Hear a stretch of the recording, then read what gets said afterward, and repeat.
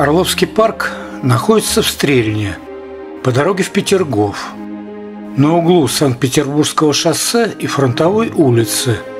Его не сразу заметишь. Сейчас в парке мало что осталось от былого величия, однако его постепенно начинают восстанавливать. История, связанная с этим парком, впечатляет. Когда-то Стрельна имела шанс стать фонтанной столицей. Именно здесь Петр I изначально задумывал обустроить фонтанный комплекс. Для этого была запружена река Стрелка, и началось строительство. Но объемов воды хватало лишь для четырех фонтанов. Поэтому было принято решение перенести затею в Петергоф – на этом месте образовался Орловский пруд, на берегу которого впоследствии граф Орлов и разбил парк с усадьбой. Пруд изначально назывался Заводским, так как рядом с ним в Петровское время работали кирпичные заводы. Алексей Федорович был незаконным сыном Федора Орлова, одного из знаменитых братьев Орловых, оказавших неоценимые услуги Екатерине II при ее восшествии на престол. Граф Алексей Федорович Орлов был лучшим другом императора Николая I и по влиянию являлся вторым человеком в государстве. Так как он был внебрачным сыном в потомстве Орловых и поэтому не имел дворянского титула, титул ему был дарован Николаем I за участие в подавлении восстания декабристов на Сенатской площади. Землю в Орловском парке ему подарил тоже Николай I.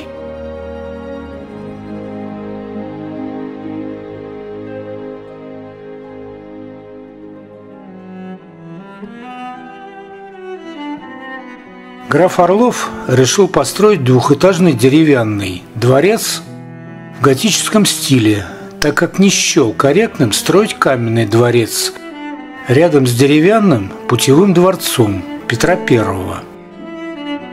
Дворец построили в 1833 году по проекту Петра Садовникова. В центре обращенного к пруду главного фасада выделялась широкая крытая терраса с выходом в парк. Ее крыльцо с двух сторон украшали чугунные орлы на шаре, символ рода Орловых. С боковых сторон дворца были сооружены два пьедестала, на которых установили копии композиции Петра Клотта «Укращение коня человеком». Оригиналы стоят на Аничковом мосту в Петербурге – Копии делал сам автор Петр Клод.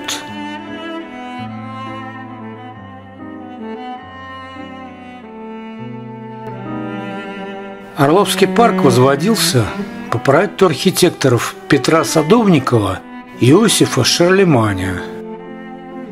Парк был возведен в модном тогда неоготическом стиле – Русские аристократы копировали обычаи английских, а в Англии было принято ценить старину. Старинные семейные вещи и строения обозначали аристократическое происхождение, и ими было принято хвастаться. Поэтому граф построил башню руина специально полуразрушенную, чтобы показывать ее иностранным гостям, аристократам, как древнее фамильное владение. Башня руины построена на насыпном холме, высота 30 метров.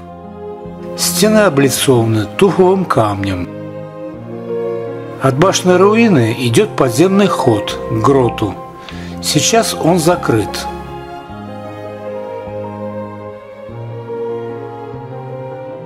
Еще одним объектом, который должен был подчеркнуть аристократическое происхождение хозяина усадьбы, является готический колодец. Он выполнен из камня с чугунным подъемником в виде журавля. Колодец не использовался по назначению, а был декоративным. Сегодня в парке можно увидеть дворцово-парковый ансамбль, домик привратника и ворота –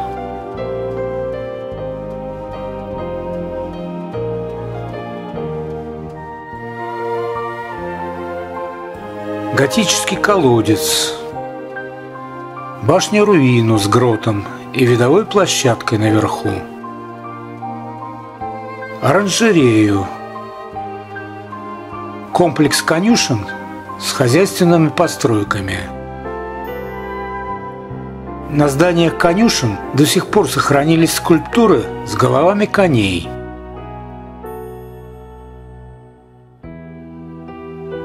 До сих пор в Орловском парке сохранились постаменты клоттовских коней.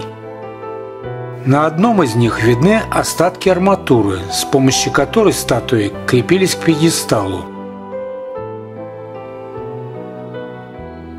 Нет достоверных сведений о том, куда подевались статуи во время Великой Отечественной войны.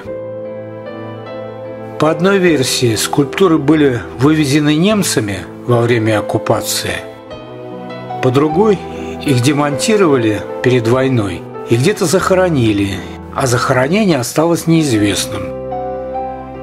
По третьей версии, версии местных жителей, в августе 1941 года две скульптуры клотовских коней, созданных методом гальванопластики, переплавили для нужд промышленности, а деревянный дворец Орлова при отступлении советских войск из Стрельни – подожгли наши, выполняя приказ ничего не оставлять врагу. В усадьбе был целый комплекс, где размещались главным образом конюшни для породистых лошадей, а также оранжерея и птичник. Там выращивались пальмы, ананасы, бамбук и другие редкие для России растения – все это делалось исключительно на показ, не для питания. Большую часть построек занимали конюшни, которые, в отличие от Орловского дворца, сохранились до наших дней. Здесь находились лучшие орловские рысаки. История их появления в России очень интересна. Эта порода берет начало из Турции – Дядя графа Алексей Григорьевич был послан Екатериной II в Турцию подписывать мирный договор, по которому России должны были отойти земли. Во время переговоров ему показали чисто белых турецких жеребцов. Такие жеребцы были большой редкостью, и дяде, конечно, захотелось удивить этим двор. Он не подписывал мирный договор, настаивая на том, чтобы в придачу к землям отдали еще и жеребца. В итоге коня ему так и не дали, но он выкупил его за 60 тысяч рублей. В те времена это была стоимость каменного замка, а лучший экипированный конь в России стоил тогда 22 рубля. Именно рубля, а не тысяч.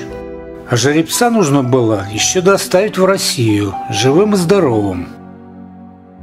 Эта порода была хоть и красива, но неустойчива к тяжелым климатическим условиям.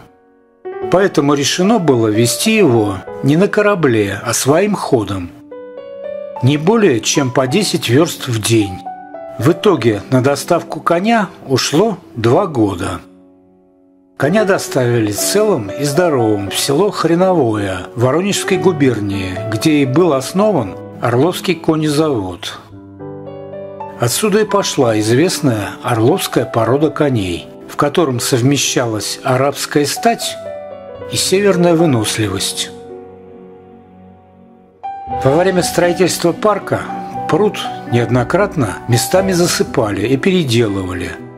В результате образовался остров, который назвали «Островом любви».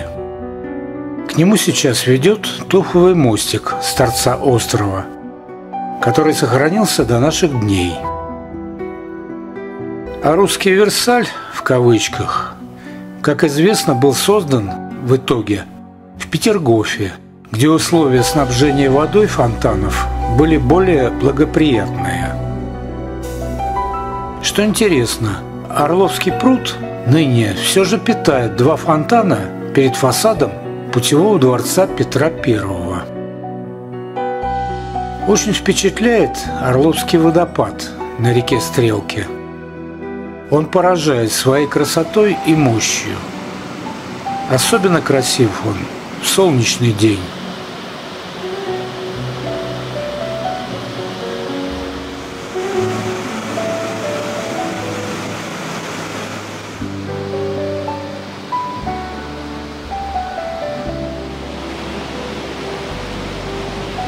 А река Стрелка течет дальше и впадает в Финский залив –